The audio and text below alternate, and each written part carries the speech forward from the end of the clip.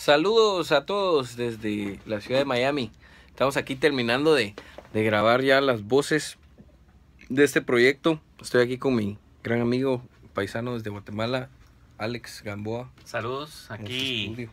terminando de grabar las, las voces de, de Milo Ochoa. Llevamos, ¿cuántas voces, Milo? Eh, Siete. Siete Siete voces grabamos ya. Eh, es el total de la producción. Sí, sí, va a ser un disco un poco más corto, pero ahí van a ver que está bien conciso, está bien, bien especial. Enseñémosles dónde, dónde hemos pasado estos días, porque han Claro. sido, han sido varias, varias sesiones Sí. las que hemos tenido. Y bueno, esta es la cuevita, aquí donde, donde grabamos. Eh, todas las voces de Milo en esta ocasión usé un micrófono Telefunken U47 de tubo. Este micrófono hay que tener que 60, 70 años de, de, de edad.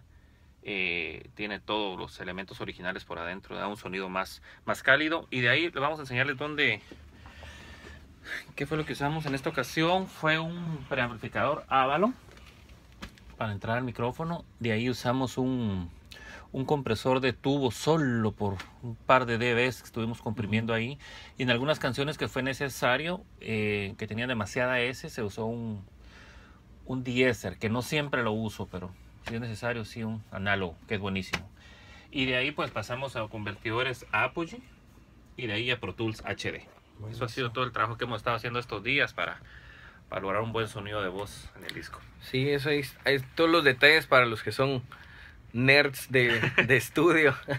Sé que hay gente que le gusta saber cómo se graban las voces. Y... Sí, la verdad es que el proceso quedó bien bonito, el sonido está increíble eh, y ya van a ver entonces en un par de días, un par de semanas, primero Dios ya van a estar viendo toda la música nueva.